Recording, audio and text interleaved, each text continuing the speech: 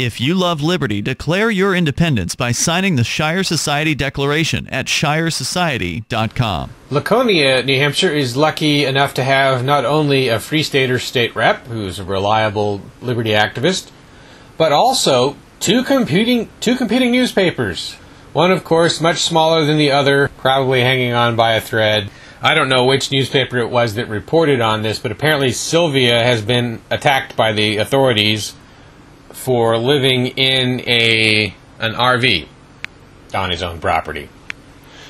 I wonder who reported him, if anyone. Was it someone in the political system who wanted to retaliate against him for being in office?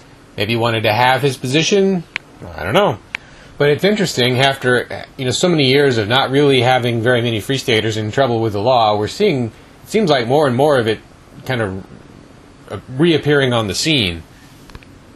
In other news related, I guess I should update you on Rich Paul, who was arrested um, and ch- he's facing apparently three three to seven, three point five to seven years for a so-called Class B felony for being a, uh, alleged allegedly a felon in possession of a deadly weapon.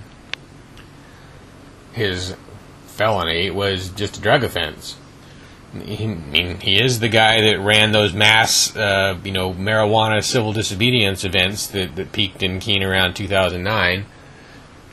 Yes, of course he deals with drugs, at least as a user. Anyway, he has a PayPal uh, fundraiser thing going on. Hopefully, PayPal won't shut it down. It's at uh, paypal.me slash Friar Rich. Now, do I think it helps that much for liberty activists to dress like monks and say their religion? I don't know.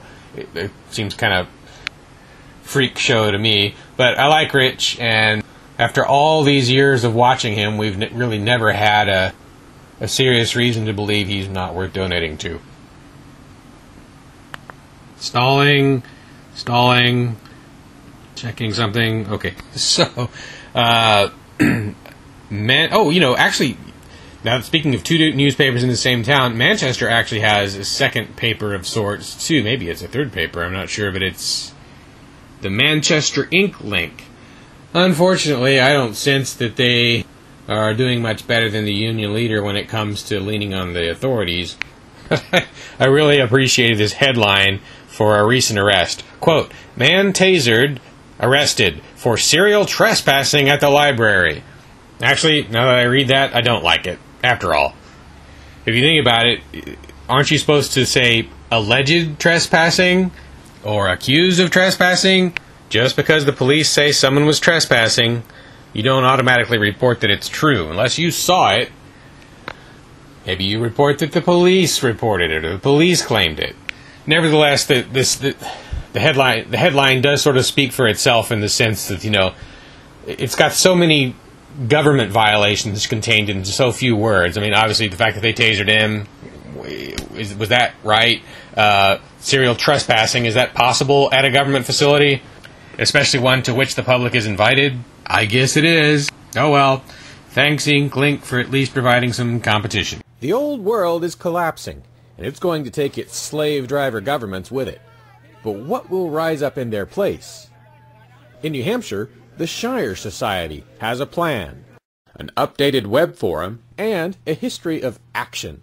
He didn't take long to come up with a plan. You can sign up right now at ShireSociety.com.